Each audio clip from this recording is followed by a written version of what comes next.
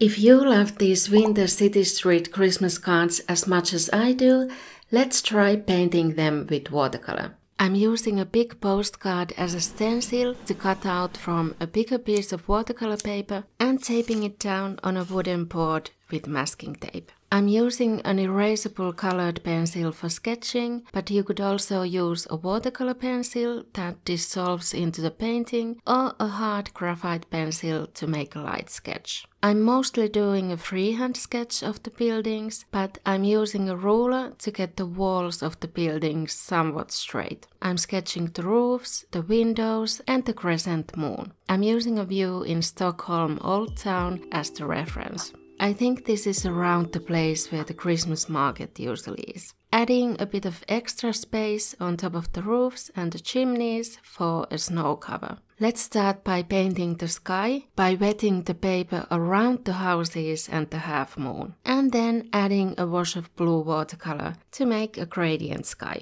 While waiting for the sky to dry, we can paint the parts of the buildings that don't touch the blue sky or each other so they don't blend. I'm outlining the building first and then filling it in, but leaving the windows unpainted. I'm doing three red buildings, slightly different shades of red, so I'm using the warmer red for some and the bluer red for others. If you mess up, you can remove the paint by blotting with a paper towel while it's still wet. And then there's a green and a yellow building in between the red ones. The sky is now dry, so I'll paint the moon and the chimneys. They're black or grey in the photos, but I'll make them brick chimneys, so I'll use a small brush and a couple of different colors. First red and then mixing a bit of blue in the warm red to make it more brown. I'm erasing the sketch from the roofs since they'll be snowy and white, so I don't want the blue sketch to show through. I like the look of partly snow covered roofs where some of the snow has fallen off, so I'll paint some of the roofs partly grey.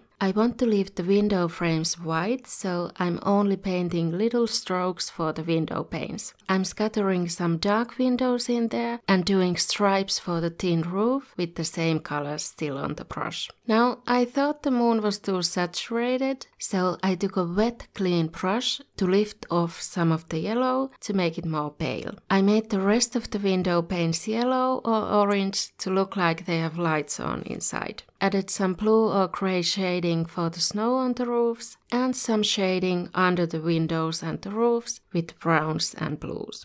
I'll show you an alteration on this idea too, but first the thing that's going to tie this all together and make it a Christmas card for me is adding snowfall. So let's do that by splatter painting. I'm using white acrylic paint and a small brush, or two actually. I'm wetting the brush and loading it with watery white paint and then tapping it on the other brush over the painting. It makes different sizes of splatters and they'll be more randomly placed than if you just dot on some white paint so it looks more realistic. It is a little messy though. So the other idea I wanted to do was to add a big Christmas tree in the middle. The circles are for Christmas lights, there's snow on the foreground and some houses further back. I'm painting the glow around the Christmas lights light yellow and the sky blue, but adding some darker tones near the ground while it's still wet so it blends well.